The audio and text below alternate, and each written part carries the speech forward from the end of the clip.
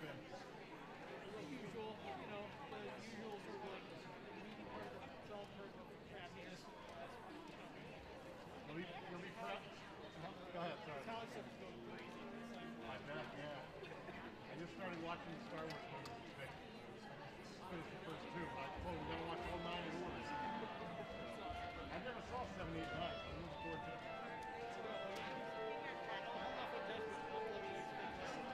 I'll not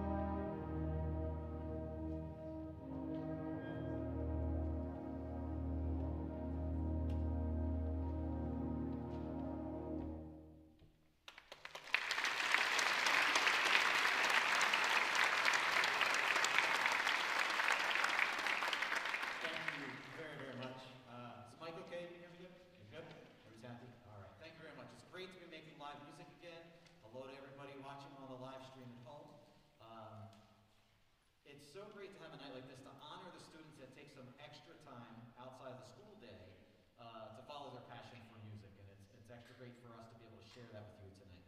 Uh, the Wind Ensemble, as you know, is a volunteer group. Uh, we see each other on Tuesdays for about an hour and a half, and I think we've been together, I'm going to call it six times, five, six times, and they're amazing. They're amazing. Uh, no matter how much we ask and expect of them, uh, and you can't imagine listening to me for that long. Uh, probably feels like it sometimes, but um, they're just amazing, and they really step up each time, and I'm very proud of them. This next piece we're going to do um, kind of touched me when I read about it because it's, it's about a parent perspective looking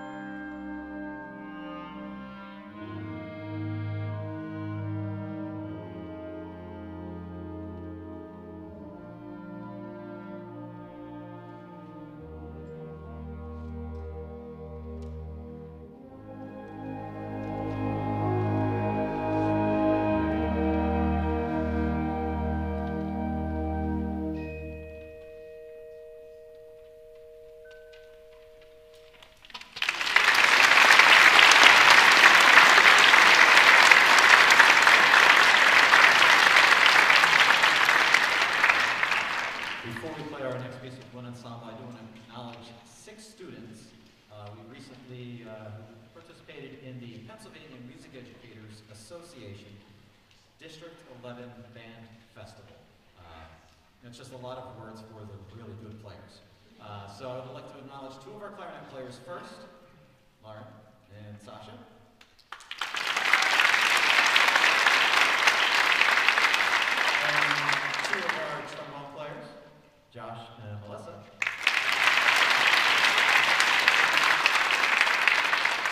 And two of our tuba players, Natalie and Arya.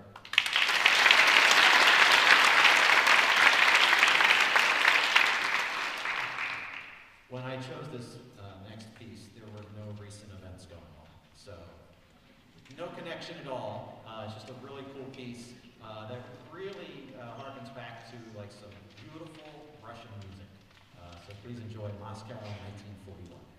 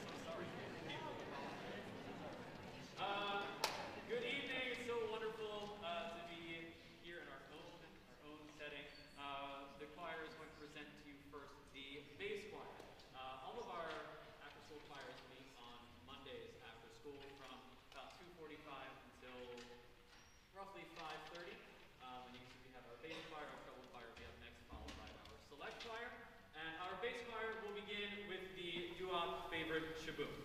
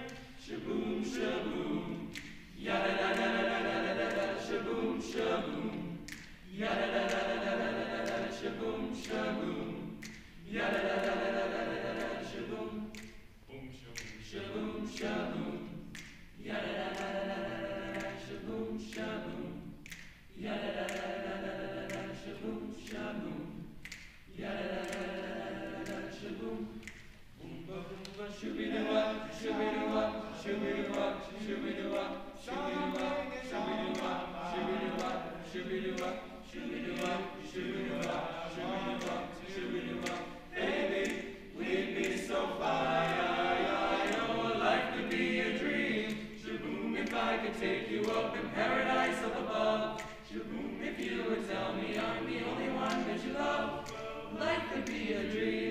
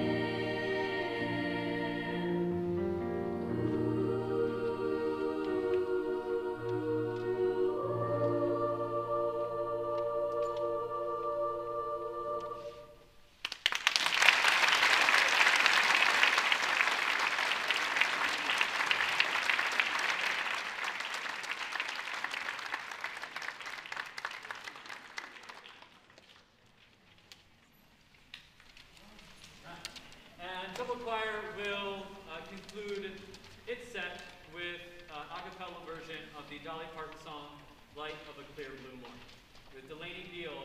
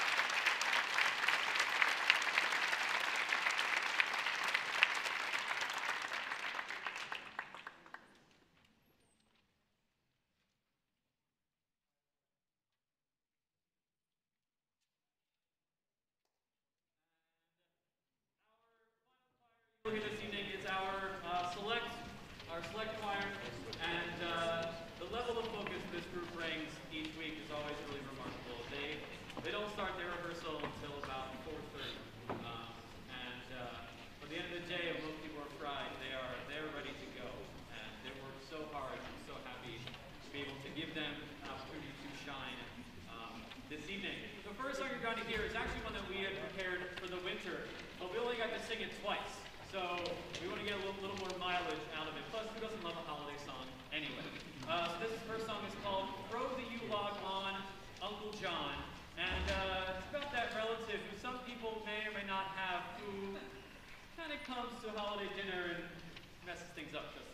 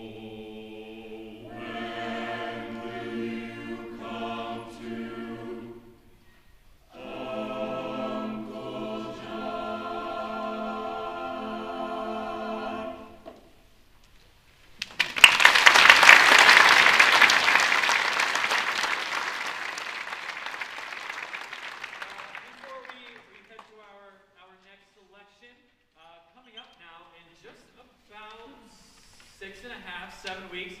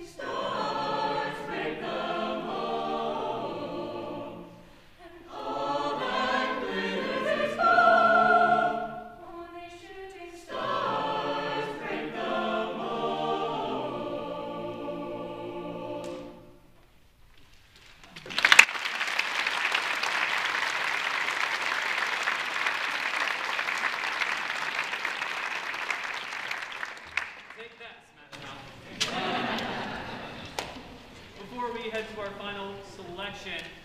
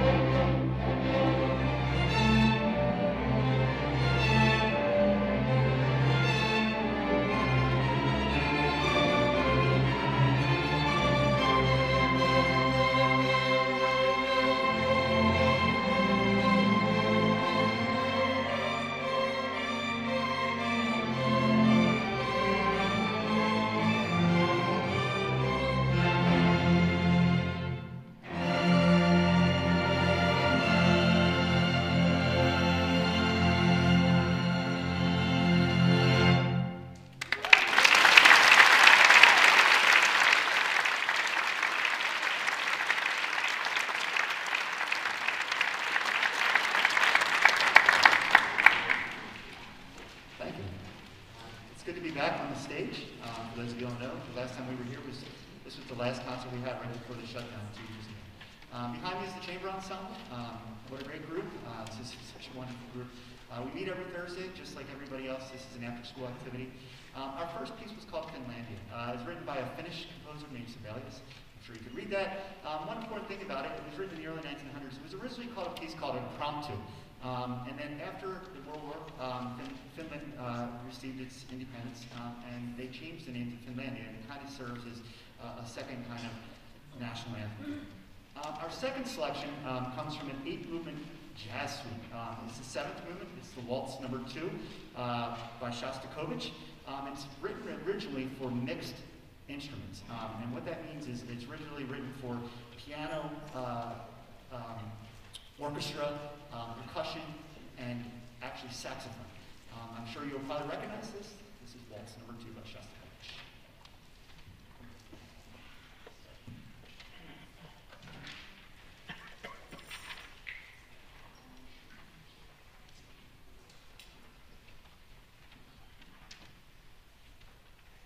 Thank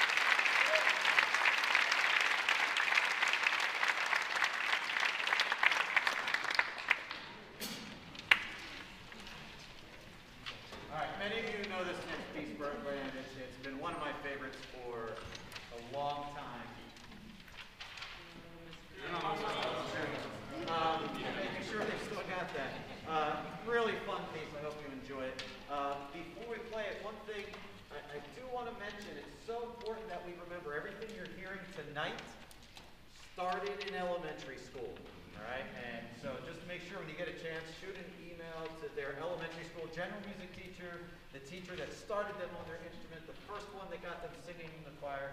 Uh, shoot them an email, say thank you, because none of this happens without that. So if any of our, our folks in the lower grades are watching right now, thank you from us and enjoy Birdland.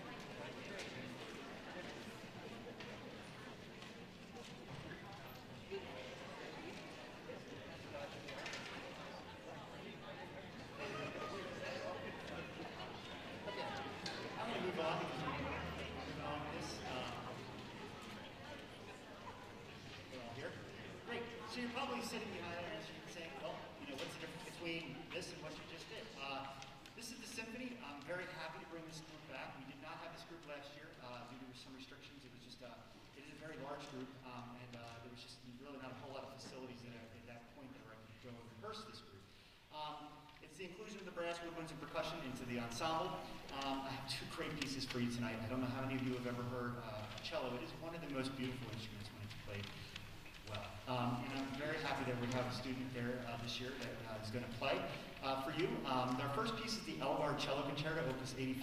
Um, it's a four-movement piece, um, but when played, it's usually played in two movements. The first movement usually segues into the second, and the third goes into the fourth. Tonight we will only be playing the first movement.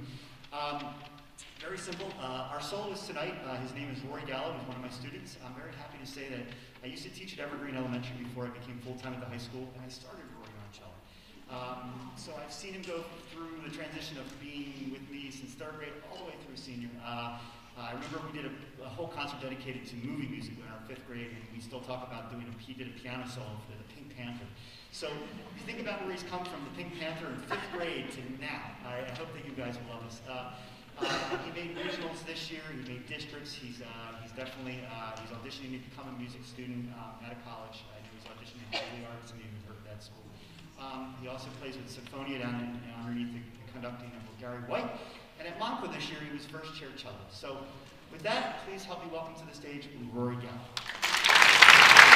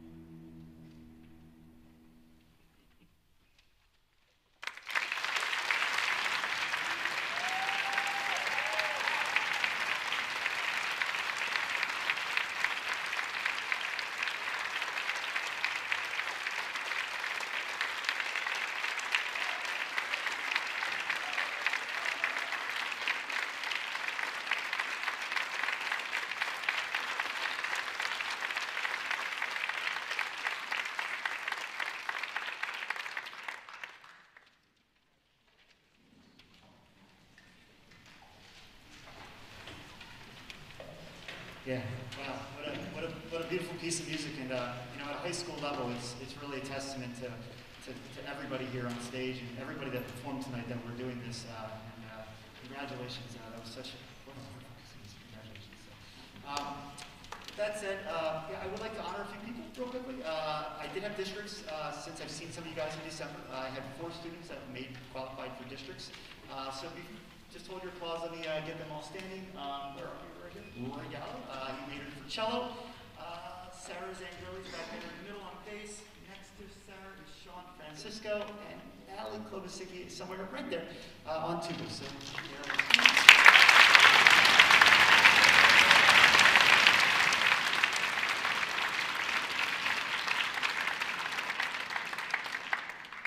And also, we, they, when they're at districts, they get to go on to regionals. We've had so we have students going on to regionals. Uh, with that said, two of my students of the uh, are moving on to regionals, which is on February 25th at Lower Merion School.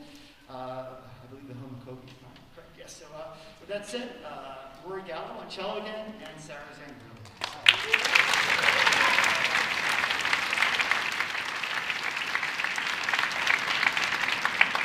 Uh, I know we're pushing the clock so uh, just I'll just say thank you to everybody on the page that's written there. So if you, if you can read it for yourself, uh, thank you for everybody uh, for coming and allowing us to do this and, and such a great uh, testament to what we do here at Perkiomen Valley. So. Um, with that said, our final piece is known as the Farewell Symphony. Um, in 1972, uh, uh, Franz Joseph Haydn wrote music for uh, a prince named Prince Esterhazy. And the, the cool, cool story about this is uh, Prince Esterhazy took all of his people from his castle um, out to his country home um, and his musicians and Haydn. And uh, he kept them there the entire summer without their families. Uh, they weren't allowed to see their families, unfortunately. Um, and uh, he decided that he was going to stay a little bit longer into the fall. Um, and to uh, kind of um, uh, protest this, uh, Prince Esther, or Haydn wrote this symphony. It's symphony number 45, known as the Farewell Symphony. Um, so it basically signifies that they wanted to go home and they wanted to be with their families. So we are going to do this in the traditional setting tonight. Um, when they did it, they actually had candles. We don't, they didn't lights. So uh, I'm going to ask everybody to please remain seated. Uh, we are going to make it dark in here. We're going to try this. This is going to be really cool. So uh, um, go ahead. Watch this. Uh, we've been working on this. You guys ready? All right, so with that said, please just stay seated. This will only take a few moments, uh, and I uh, hope you enjoyed the concert, and we'll see you guys in the spring.